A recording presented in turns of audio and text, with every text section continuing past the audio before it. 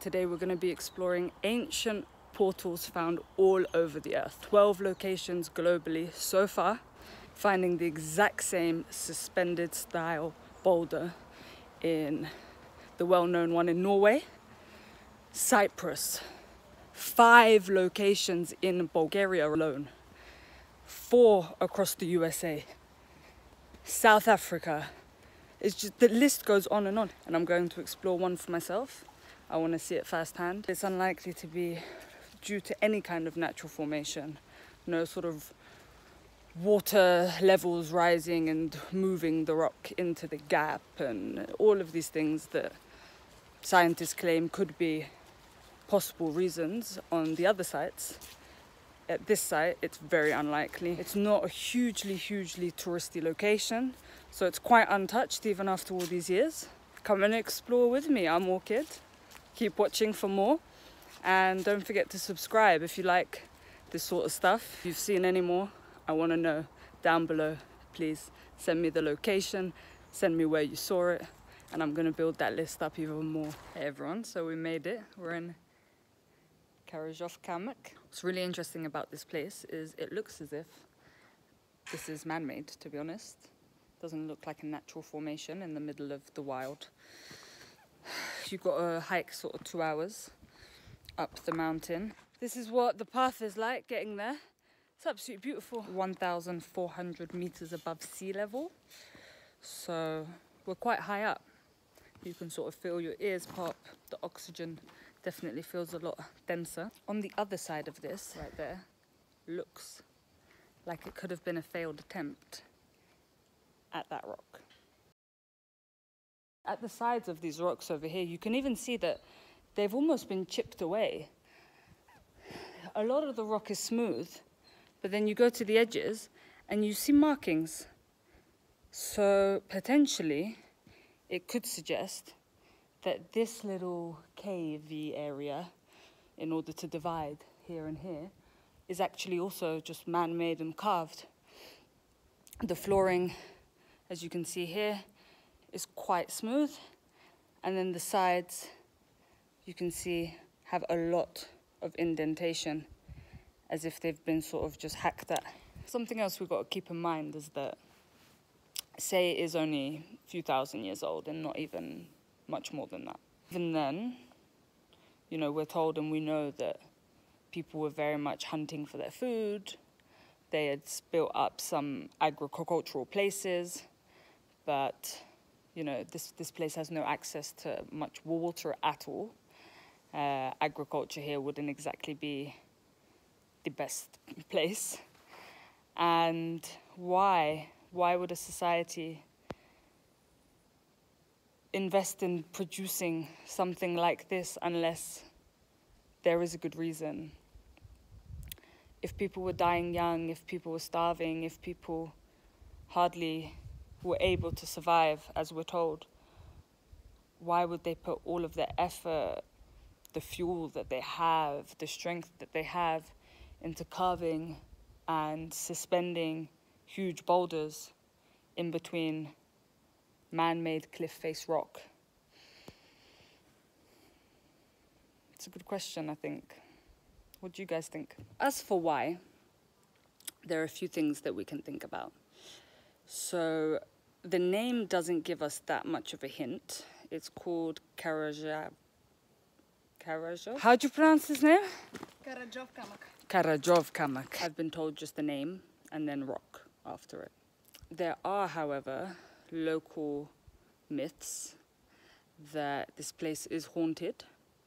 So we don't know if those sort of myths were there to deter people from, you know, coming up here, or if there are ancient myths that sort of got passed down. There are also some myths that state that this is actually a portal uh, into another dimension or into parallel un universes, uh, and that the rock is sort of the bridge between the two.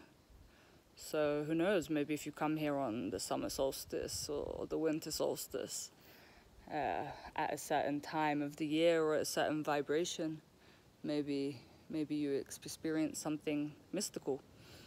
In terms of vibration, you know, this is now the end of July and the solstices have passed, but it feels different.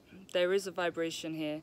There is a sort of feeling here that you you don't find everywhere. I knew I had to brave the steps and see what it was like at the top. In order to suspend the rock like this, whoever created it must have carved it at the top and then pushed it down. It had to be just the right size in order to not go through the gap. Maybe that one at the end really is a failed attempt. The amount of time, strength that a feat like this would take. It's truly remarkable. The views are breathtaking, but after that climb up, I'm starting to understand why the locals call this place the place of the dead.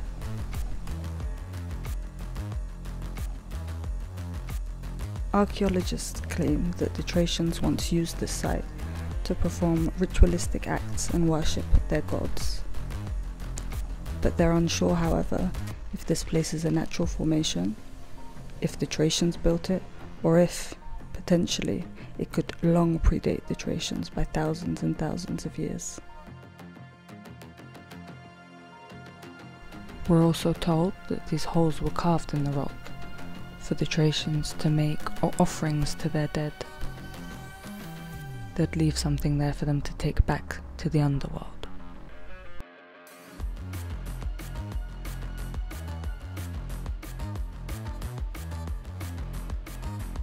But you do find carved holes like this on tops of mountains and huge rock formations all over the world. So they may have been there in order to collect rainwater. As I look across the sea of mountains, I can't help but wonder why. Why ancient people even came this high up? What were they in search of? Why would they build a base here? Why would they leave any source of water supply and make a pilgrimage like this so high, so risky. What were they in search of?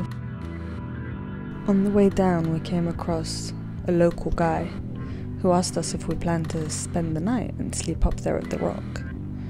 Confused, we answered no. Is that something that people usually do? And he told us that not only people go and stay there either for the reason of potentially seeing something extraterrestrial, but also there have been those who claim that if you sleep at the rock, you're healed of any sickness that you have. But what I found particularly interesting was he told us that every 14 to 15 days, so twice a month, there are scientists that come and spend the night there and not only are they spending the night there, but apparently they're taking observations and scans and things like this of the local space. I just found that a bit strange. Like, why would they be there twice a month, every month? What exactly are they trying to find?